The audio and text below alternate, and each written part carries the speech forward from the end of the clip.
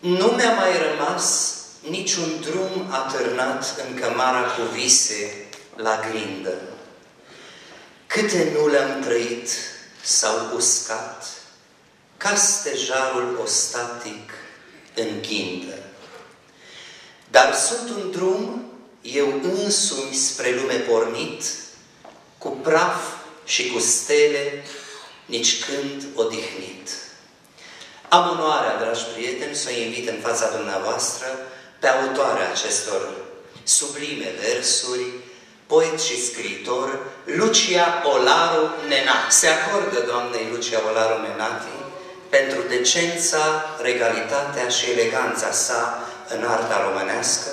pentru felul în care își trăiește demn și princiar o vocație dăruită prin scris oamenilor. Lucia Olaru Nenati este un intelectual de marcă, un simbol al culturii autohtone, arătând cu fiecare apariție editorială că este de o vivacitate impresionantă. O curtezană simplă și complexă la un loc, ea incendiază aparițiile ei, permanent conștiința colectivă cu valori și idei memorabile. Poet, publicist, om de cultură, director al Teatrului de Stat Mihai Eminescu din Botoșani și al Teatrului de Păpuși,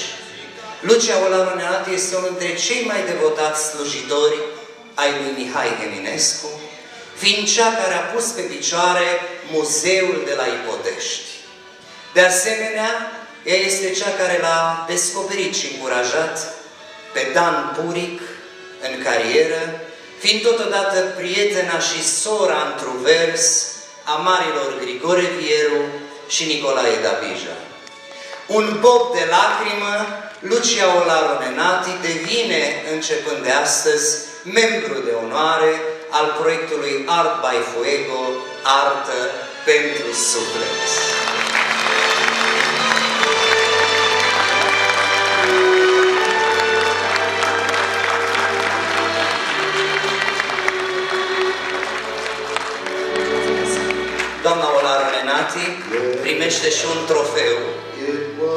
Realizat de bunul meu prieten Filip Mărgărit din Prahova, un trofeu care să vă amintească de această seară uh, dedicată în primul și în primul rând artiștilor.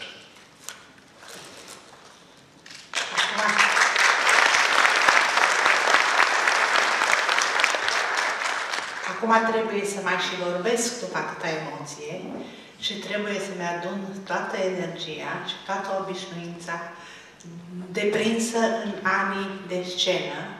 pentru că este așa o încărcătură emoțională aici,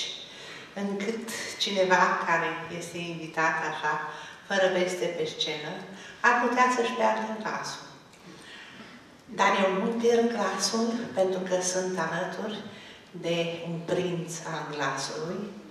pe care îl iubesc de multă vreme și trebuie să mărturisesc că este între noi un cu de fudră special, frumos, și care mă încântă și mă bucură. De fiecare dată să-i aud cântecele, să-i văd vivacitatea, să-i admir energia și, nu în ultimul rând, curajul de a înfrunta trendul creator actual în care toată lumea încearcă să șocheze prin lucruri cât mai puțin decente, cât mai țipătoare, cât mai lipsite de armonie. Ei bine, acest tânăr, Paul Fuego, și-a luat acest nume, acest cognomen, de foc, pentru că într-adevăr este un foc care arde, are curajul să meargă în contracurentului, promovând ceea ce a făcut cândva gloria artei remanente, armonia în toate, armonia în ceea ce cântă, armonia glasului său, armonia melodiilor și acum armonia acestei noi forme de manifestare care este pictura, arta plastică. Și așa cum am uh, spus și dumnealui a notat în caietul program, a mers pe acea cale a unor mari artiști care nu au simțit că este suficient să se exprime într-o singură formă, ci pentru că sunt artiști autentici și talentul este mare și greu de stăpânit, simt nevoia să se exprime și altfel. Și acum vreau să-i fac și o surpriză, să-i spun și dumneavoastră. Eu sunt în Bacău aici pentru că am fost invitată la festivalul uh, George Bacovia, Toamna Bacoviană, care vin de ani de zile și m-am ocupat nu numai de Eminescu, ci am și tradus din limba franceză prima ediție a exegezii bacoviene, câțiva ani în urmă, și deci m-am apropiat și de acest mare poet. Și am avut bucuria și surpriza să aflu că Bacovia, cel care crește ca o stea pe cer, a cântat la instrument, a compus și a pictat. Și chiar astăzi s-a lansat în sala mare a Consiliului Județean cartea intitulată Stanțe burgheze, în care sunt reproduse desene și picturi ale lui Bacovia. Asta nu știai. Asta nu știai. Ei, ce vrei mai mult decât această similitudine pe care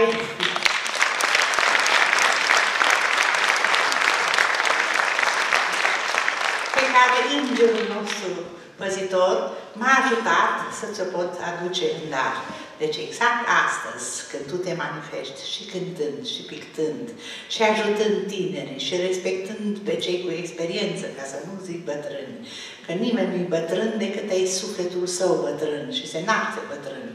Nimeni nu bătrânește dacă sufletul său este tânăr. Și tu faci atâtea lucruri și vei rămâne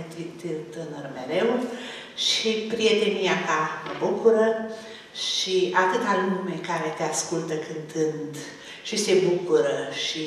își alină sufletul, ne bucură pe toți cei ce iubim armonia, adevărul, musețea și arta. Și pentru că uh, am vorbit despre această multilateralitate a unor oameni talentați, vreau să vă spun, tu știi, dar lumea știe puțin, că nu numai Bacovia a avut și alte manifestări ale talentului, ci și Eminescu și m-am ocupat îndeaproape de latura muzicală a lui Eminescu, scriind și o carte, am pus-o pe masă, am să o arăt după ce mi liberez mâinile, uh, am adus-o să vă arăt, se numește Eminescu de la muzica poeziei la poezia muzicii,